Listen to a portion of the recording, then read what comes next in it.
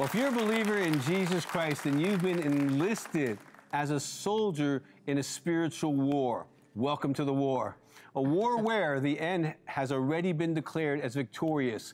And here to reveal this coming fivefold warfare, along with how to overcome it, is prophetic voice and author Jeremiah Johnson. Come on in, Jeremiah. Thank you. Thanks for having me. Good to see you. All right. I hear you've been dreaming. Yes. yeah, always a good dream when I come to Texas. I love praise that. God. I love that. So, um, yeah, we want to get into your book, uh, The Warrior Bride. I specifically want to talk about the five key areas of warfare. Um, it's interesting because uh, being in Christian television and having a huge platform, I can relate to a lot of these that you're talking about in here. I can remember in the early days, especially dealing with the Jezebel spirit. And uh, so I wanted you, you to unpack that a little bit. But first, can you share some of your dream from last night with everybody? Yeah, absolutely. So last night in the hotel room, I was having a dream where I heard the Spirit of the Lord say that He was going to bind the strong man of Haman in America. Hmm. And God began to talk to me again out of the story of Esther about how she was raised up for such a time as this. And I really think that there is that Haman spirit, which obviously speaks to he had a lust for power, he wanted fame, and ultimately he wanted to wipe out the Jewish people. And I really saw several people uh, in the dream. God reminded me in 2020 in Washington, D.C., I was with Lance Wallnau. And I prophesied at the mall that God was going to raise up a generation of women at the mall that were going to confront a Jezebelic agenda in America in the hmm. spirit of Esther. So I saw Lou in the dream last night. I saw DeHevelin Ford, and then I saw Christine Kane. And I kid you not, I'm in this swirl when I wake up this morning. I go down to the lobby, and Christine Kane is right in front of oh, me. Oh, wow. And so I had a chance to chat with her. Wonderful. But you know, you know when God's Yeah, talking to yeah. You. So Yeah, that's awesome. Well, um, And we support women leading, don't we, baby? yeah. Yes, well, we do. Well, yes, you do, and others have, and it's a very humbling thing to to be in this position, and yet uh, it's a it's a important responsibility that I take very seriously. And Yes. I feel like I was trained for 40 years by my late husband, Marcus Lamb. But, Mm-hmm. you know, in talking about the five key areas of warfare, you mentioned uh, one of the areas of attack is just the family warfare. Talk a little bit about that. Yeah, so I had this amazing prophetic dream. People ask me, How did you write the book? So I'm in this dream. I see this beautiful woman in a white dress. And as I look down at her feet, she has commando boots on. It's on the cover. Yeah, and Good so. I, I we fought for that to get that on the title, but I knew it was a warrior bride. We're in the end times, and there's this sound of war. I, I hear the hoofs of horses. I, I hear trumpets blasting, and there is this invitation for her to come and sit down at a table. And on the table, I see like this piece of paper that says five demonic strategies. People ask me, Where'd you get them? The dream. And I see these strategies. The first one, family warfare. And God began to talk to me about two things specifically that we need to uh, be aware of regarding family warfare. One, uh, regarding prodigal children. Uh, the Lord reminded me in 1 Kings 17 where Elijah takes the widow's son and she takes the son up to the up he takes the son to the upper room and stretches himself over her and I heard the Lord say parents who are grieving over their prodigals you've got to return to the upper room and stretch out your faith again so there's a real word for parents right now dealing Good with prodigals. Don't pray from emotions. Don't pray from just grief. Ascend to the upper room and get into that place of prayer. And then the other one was regarding recent deaths in family, spousal deaths. You know, a child passes. I saw a real spirit of grief that was birthing offense. And it's okay to grieve loss, but there was a demonic spirit woven into the grief that was bringing up offense and chaos in family units. Yeah, wow, that's really good word. something. I know that um, you've written the book Prodigal Parent, and Yes. that's a, that came out of trying to uh, help a family. And one of the things I want you to know, those of you that are watching, It's just like um, Jeremiah said, don't pray out of that emotion, but really trust God with that prodigal and know that He's working. And like you said, um, don't be weary in well doing. Continue to pray, don't faint. But at the end of the day, the child has to make that decision, just like the prodigal son did. Mm-hmm. Is that Yeah, right? That's that. That's right. And I, I want to say you might be that prodigal. I was, and everyone listening has been a prodigal of God at some point. And if you're listening, you're like, you know, I need to go back home. I know my grandmom's praying for me. I know my dad's praying for me, and I got to go back home. Yeah. And that's you right now. It's you right this minute. And I want you to just say that prayer you know to say. Say, Jesus, Jesus, forgive me. forgive me. I need you to be Lord. I need you to be Lord. I need to come home. I need to come home.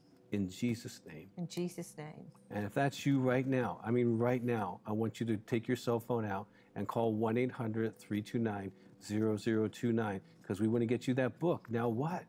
Because it's great that you're saved, and, and today you're going to learn you're in an army, you're in, a, you're, in, you're in war, but we need you, but you need to grow up and mature and be strong and get in a local church. But call that number, let us know so that we can be assisting you in that process. I just felt like the Holy Spirit was saying, somebody needs to come home. And I was that somebody. So if you did that, be that somebody and make a call. Let us know. We love you very, Yeah. very much.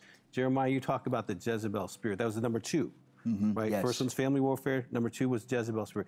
I, I've dealt with that spirit, and you know I've been killing that spirit for 35 years, right? So I, I get it because I dealt with sexual addictions and impurity. I'm a you know counselor. So talk about what God showed you about that. Yeah, in the dream, it was specifically the toleration of Jezebel. Revelation chapter two. You know, and Tolerate that woman Jezebel. and it and it's ultimately about authority you know the reward to overcoming that spirit is authority. So i tell people oftentimes that spirit targets people in authority. Uh, one guy said you teach people how you want to be treated and so in the toleration of jezebel how we're going to get free from stop tolerating Jezebel is we're actually going to have to set up boundaries. Mm-hmm. We're going to learn how to say no. You know, that Jezebel is a controlling, ma- manipulative, mm-hmm. seductive. It takes many forms, but I, I believe that rather than maybe talking about people operating in it, God is actually warning an end time army you've got to stop bowing down to it. Amen. You've got to stop the peace treaties. You've got to mm. learn how to war for complete freedom Amen. from tolerating Jezebel. And I get even in, in my own family, my mm. own story, especially those that you love, who, mm. you know, our wrestle is not against flesh and blood. That's right. It's against principalities and powers. But when you know people are operating in that spirit, not tolerating it is going to look like hard conversations. It's going to look like boundaries. And so I just really believe God is freeing a generation, and it's just going to come from a lot of health and wholeness Yes. in Jesus' name. You know, Amen. there was um, a dear uh, woman that we loved, Irene Gleeson, that did a great work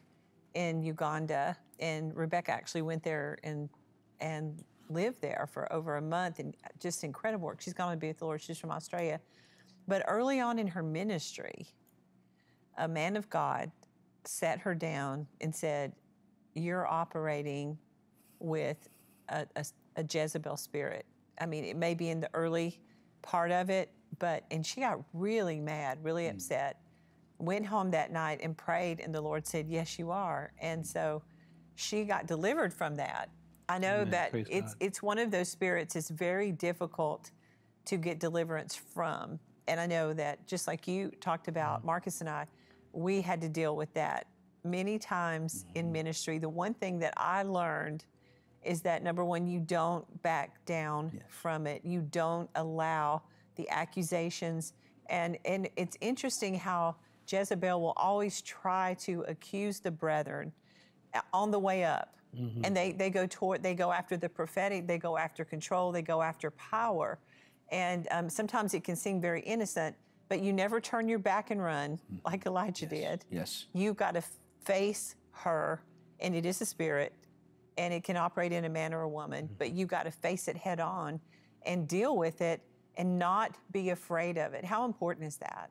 Yeah, the book is a call to war. I mean, it's it's a call to stand at the gates of your marriage, your city, your nation, And we have got to stop tolerating this spirit in America. And it's going to take Mm-hmm. courage. You have to know what you're dealing with.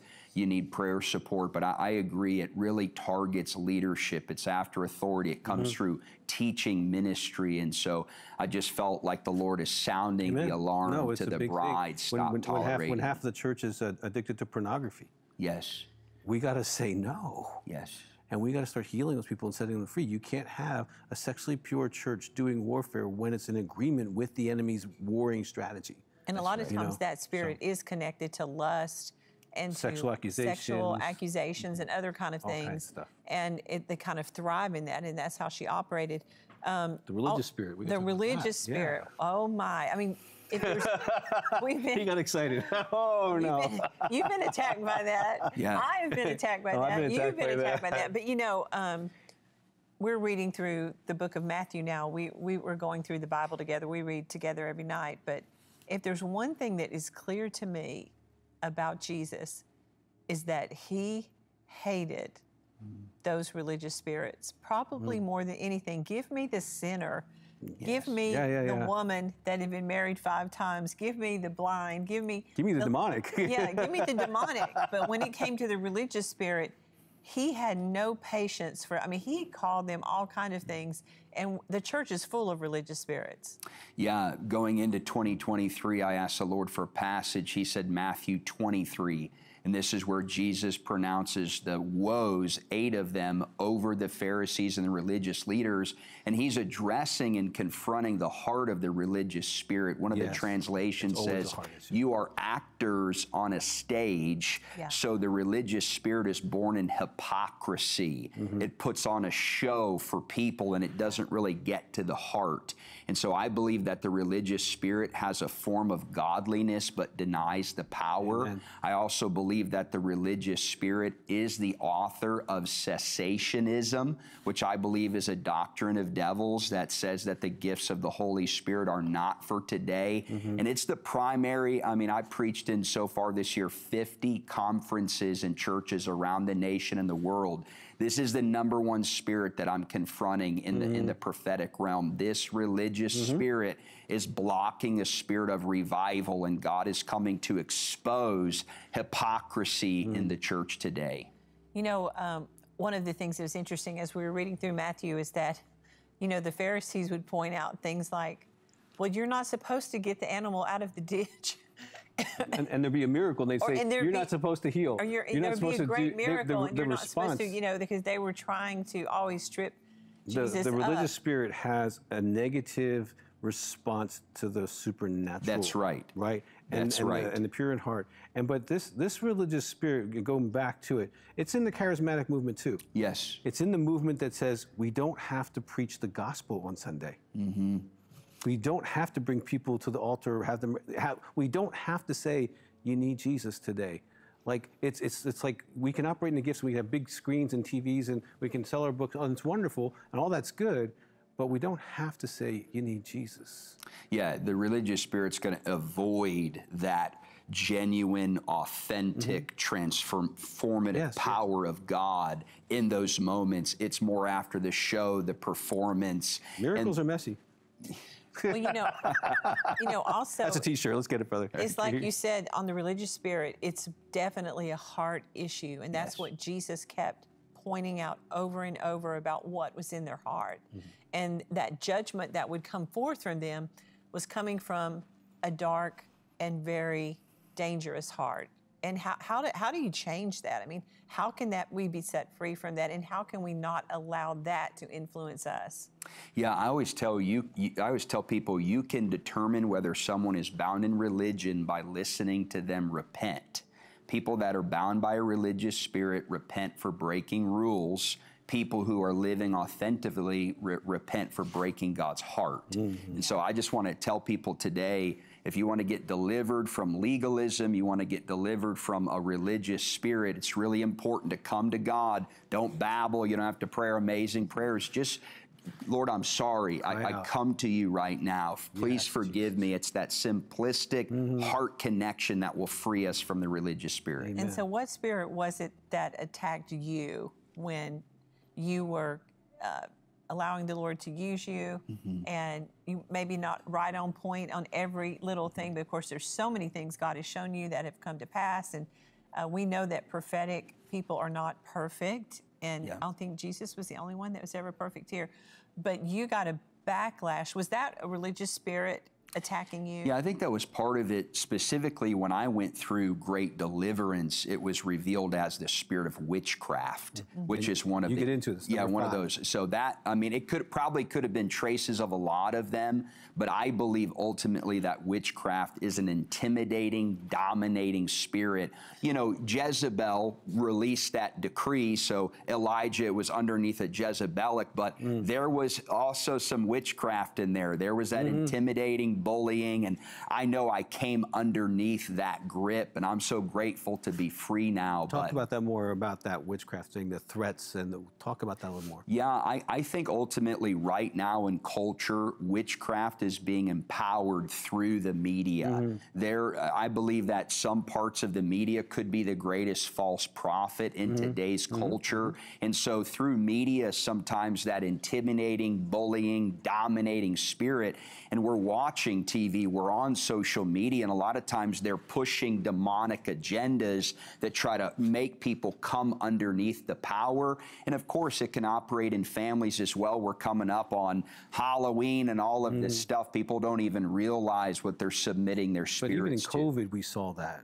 Yes, It was a bully spirit. Witchcraft is a bully. that's right. It's a bully It's an spirit. intimidator. Right. So you also talk about um, the orphan spirit. Tell us about that, and how do we recognize that? Yeah, rooted in fatherlessness. Mm-hmm. You know, I, over over my 15 years of ministry, specifically raising up young ministers, it's amazing to mm-hmm. me how many can read the Bible, preach the word, move in the miraculous, but there's an issue with dad, earthly dad, or there's a disconnect. And so we live a life trying to strive for love rather than from love. Mm-hmm. And so I think part of that recognizing Jesus taught his disciples to pray, Our Father. Mm-hmm. He's inviting them into the fatherhood of God. And so I believe God's going to heal a generation. I mean, all ages, but my heart that Gen Z, uh, that Gen Alpha, there's such a spirit of, it's an orphan spirit in this generation. We need moms and dads to step up and help to fill that void. And I think also, I think about your story, Doug, when you were 19 years old and you got dramatically saved and delivered, that um, God really became your father. He's been my dad ever since. I mean, you ta- he talks about him like that, and you have to establish a relationship uh, or help these young men, especially. Yes. and women. Yes. And women. Let's Yeah, talk about yeah, women. women and- too, You know, yeah. I- I'm, I'm a psychologist, and so I, I, for the last 35 years, I listen to people's hearts. The most beautiful, intelligent women feel worthless and empty because their dad didn't speak life into them, didn't say you're amazing and beautiful. All right, and then same with the men. They're doctors. They're they're incredible. They're the the top in their field, and yet their dad didn't speak life. Those are the ones who struggle with the worthless feeling, the self low self esteem thing, because their natural father didn't speak it into them. Yeah. And sometimes our spiritual leaders don't speak it into us. Or, but we need to hear the Father speak it into us. Like, you're more than enough. Are you kidding? You're my kid. I love you. I adore you. You're certainly beautiful. You look just like me sometimes. I love you, kid. Like, and let that inside your heart. Wonderful. You know what I'm Yeah. saying? And let it in your heart so that you come from the place of, I'm a son, I'm a daughter of the king. You know, I'm glad that my mom and dad, you know, donated the genetics, but they couldn't make life, right? Only God could have created me, and He created me in His image. And to celebrate that, if you if you've got that Father wound, we definitely want you to call and pray and say, I'm going to just agree right now that no matter what my mom or my dad didn't say, I'm going to believe what God says, Yeah. and just have someone pray with you and say, Can you just pray with me in agreement that I am adopted? So, how did you do that for yourself? Because I know you don't know really who your father was. You're talking to him or me? I'm talking to you. Okay.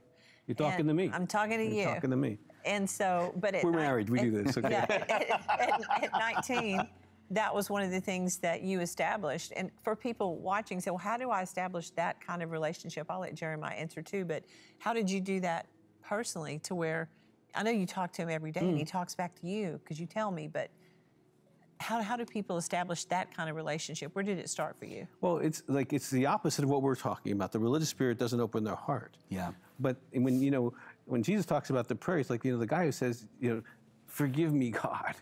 You know, that person's gonna have a relationship with God. You know, and if you're in a situation where you don't hear God and you want to, just ask him to to make himself known to you and, and, and speak to you through the word and speak to you through others. And he'll speak to you in the spirit. He can give you prophecy, he can give you wisdom, he can give you counsel, he can give you the fear of God, he can give you all of that. But it's really a hard thing.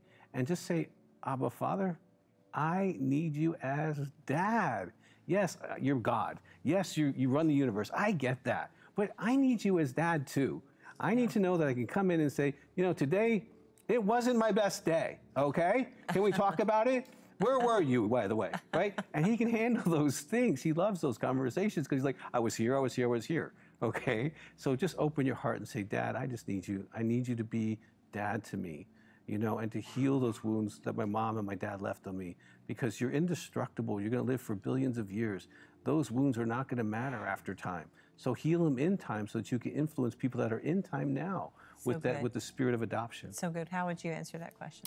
Yeah, God is so faithful to heal us of all our existing father wounds before he reveals himself as God the Father. It's just he's so much different than our earthly dads. And so uh, to me, it's just a journey of that real rawness.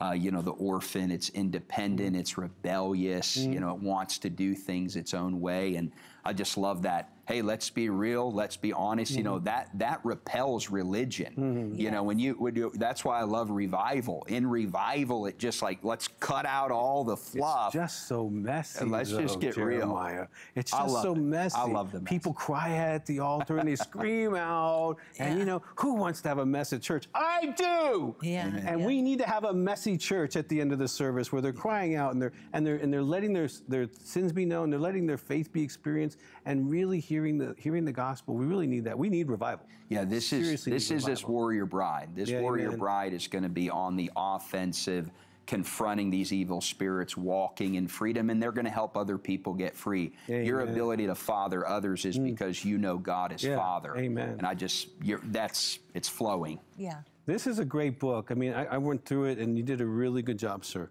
Thank you. You did a really good job. This is probably a, a book for the hour that what the church needs to church leaders get get run this through with your kids and say, hey, let's look at this as a family. Well, you need to get this book. It's great. I love it. Okay, so we've heard about spiritual warfare our whole life. One of the things that probably turned me off early on, and I do believe in it absolutely, obviously, with what I do, but um, it's like there, there was a, a time when people would be spending more time talking to Satan Yeah. than talking to God, you know, and talking to entities and the second heaven and command, you know, and I'm Yeah. like, we, we were not created or commissioned to do that, Mm-hmm. right? And so, talk about the right kind of spiritual warfare. How do we pray? And what does that look like instead of going into calling out entities over cities and that mm-hmm. kind of thing? Yeah, the way that God instructed me to write the book was in chapter one, I shared this dream, and then it was really important. Chapter two and three, I develop a solid biblical theology in spiritual mm-hmm, warfare. Mm-hmm. And then the rest of the chapters, we mm-hmm. talk about these demonic spirits because, Joni, I, I do believe and have a concern that in this generation we're chasing demons. And it's like, where is Jesus?